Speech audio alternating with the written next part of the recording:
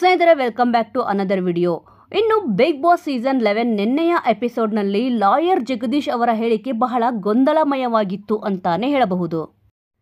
ಇನ್ನು ಲಾಯರ್ ಜಗದೀಶ್ ಮೊದಲೇ ನಾಮಿನೇಟ್ ಆಗುತ್ತಾರೆ ಎಂದು ಅವರಿಗೆ ಗೊತ್ತಿತ್ತಂತೆ. ಲಾಯರ್ ಜಗದೀಶ್ ಅವರಿಗೂ ಇದೇ ಬೇಕಾಗಿತ್ತಂತೆ. ಅಷ್ಟು ಜನ ಇಡೀ ಕರ್ನಾಟಕ, ಇಡೀ ವ್ಯೂವರ್ಸ್ ನನ್ನ ಹೆಸರನ್ನು ಕೇಳಿಸಿಕೊಂಡ್ರು. ಒಂದು ಲೆಕ್ಕದಲ್ಲಿ ಇಂಡೈರೆಕ್ಟ್ ಆಗಿ ಯಾರ ಕೈಲಿ ತ್ರಿಶೂಲ ಕೊಡಬೇಕೆಂದು ಇನ್ಫ್ಲೂಯೆನ್ಸ್ ಮಾಡಿದ್ದೆ ನಾನು. ಯಾರ ಹತ್ರನೂ ಹೇಳಿರಲಿಲ್ಲ ಅಷ್ಟೇ ಎಂದು ಕೂಡ ಅವರು ಹೇಳಿದ್ದಾರೆ.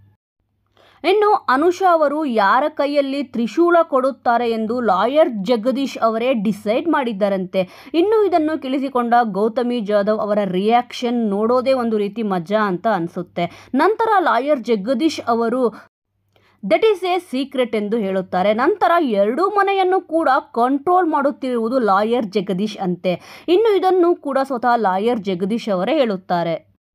ಅಂದರೆ ಇಲ್ಲಿ ಲಾಯರ್ ಜಗದೀಶ್ ಅವರು ಸ್ವರ್ಗದ ಮನೆ, ನರಕದ ಮನೆ ಎರಡನ್ನೂ ಕೂಡ ಕಂಟ್ರೋಲ್ ಮಾಡುತ್ತಿದ್ದರೆ ಬಿಗ್ ಬಾಸ್ ಏನು ಮಾಡುತ್ತಿದ್ದಾರೆ ಅಂತ ಗೊತ್ತಾಗುತ್ತಿಲ್ಲ.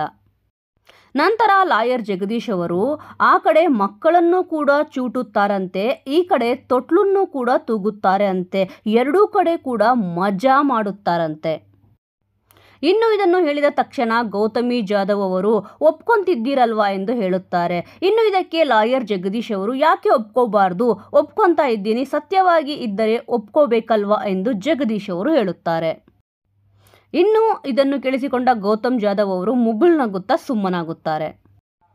ಸೊ ವೀಕ್ಷಕರೇ, ಲಾಯರ್ ಜಗದೀಶ್ ಅವರ ಈ ಮಾತಿಗೆ ನಿಮ್ಮ ಅನಿಸಿಕೆ ಮತ್ತು ಅಭಿಪ್ರಾಯ ಏನಾದರೂ ಇದ್ದಲ್ಲಿ ತಪ್ಪದೆ ಕಮೆಂಟ್ ಮೂಲಕ ತಿಳಿಸಿ ಹಾಗೂ ನಿನ್ನೆಯ ಎಪಿಸೋಡ್ ಹೇಗೆ ಮೂಡಿ ಬಂತೆಂದು ಕೂಡ ತಪ್ಪದೆ ಅದನ್ನು ಕೂಡ ಕಮೆಂಟ್ ಮೂಲಕ ತಿಳಿಸಿ. ಇನ್ನು ಇದೇ ರೀತಿಯ ಬಿಗ್ ಬಾಸ್ ಇಂಟ್ರೆಸ್ಟಿಂಗ್ ವಿಡಿಯೋಗಳಿಗಾಗಿ ತಪ್ಪದೆ ನಮ್ಮ ಚಾನಲನ್ನು ಸಬ್ಸ್ಕ್ರೈಬ್ ಮಾಡಿಕೊಳ್ಳಿ. ಮುಂದಿನ ವಿಡಿಯೋದಲ್ಲಿ ಮತ್ತೆ ಸಿಗೋಣ. ಜೈ ಹಿಂದ್, ಜೈ ಕರ್ನಾಟಕ.